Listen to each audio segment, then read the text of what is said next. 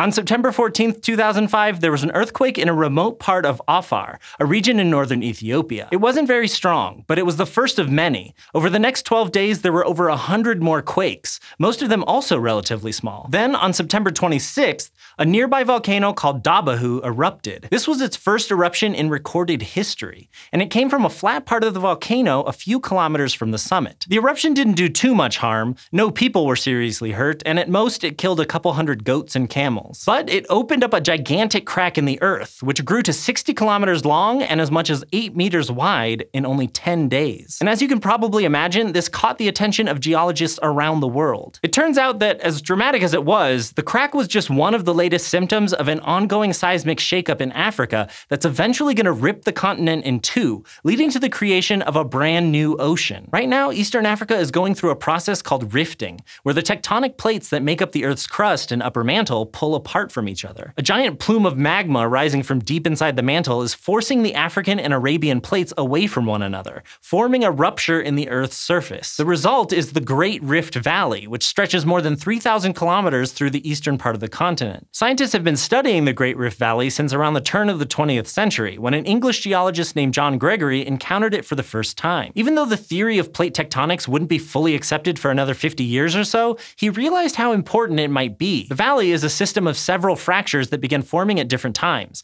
and it's home to lots of seismic activity. The pressure from tons of magma bubbling up is what leads to earthquakes and volcanic eruptions like what happened in 2005. For a study published in 2018, scientists installed two seismic networks in Ethiopia and Eritrea, and these networks of seismographs recorded almost 5,000 earthquakes of at least magnitude 2.0 in two years. All that activity has spawned other volcanoes too. One called Nyamuragira erupted 15 times between 1894 and 1979. What's happening in Eastern Africa is actually more common at the bottom of the ocean, where magma bubbling up into tectonic rifts forms features called seafloor ridges and helps drive the movement of continental plates. But the activity in Africa is giving geologists a chance to study the process up close, no submarines needed. As it turns out, what happened in 2005 was that a huge length of the rift cracked open all at once, beginning with the volcanic eruption and spreading in both directions from there. This was a bit of a surprise to scientists, who previously thought that such cracks, on the ocean floor as well as on land, only broke open a little bit at a time. Eventually, the Horn of Africa is going to split off from the rest of the continental plate and go its own way. Large areas of the Great Rift Valley are below sea level, cut off from the ocean only by a small piece of higher land in Eritrea. So when the split finally finally happens, seawater is going to come flooding into the rift, turning the Horn of Africa into an island and creating a new ocean. Odds are none of us will actually get to see the new ocean.